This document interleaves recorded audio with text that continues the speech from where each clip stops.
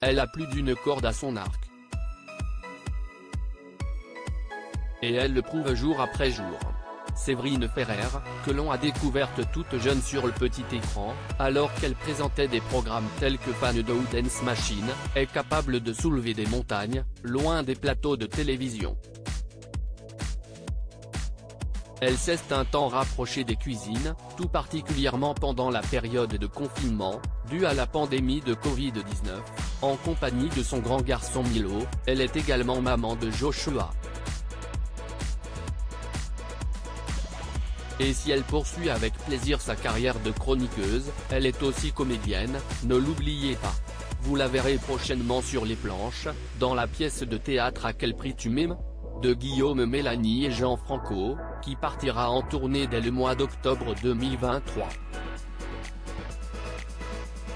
Séverine Ferrer a récemment dévoilé l'affiche du spectacle, sur les réseaux sociaux, et donnera donc, prochainement, la réplique au beau Terence Tell, à Marie-Hélène Lantini ou encore à Juliette Poissonnier. Elle donne, également, toujours de sa force aux représentations de la voix des femmes, une série de témoignages qu'elle reçoit, en public, sur scène. Elle retrouvera donc quelques-unes de ses camarades au Théâtre des Dreux, le 25 novembre 2022 à 20h30, puisqu'il s'agit de la journée internationale de lutte contre les violences faites aux femmes.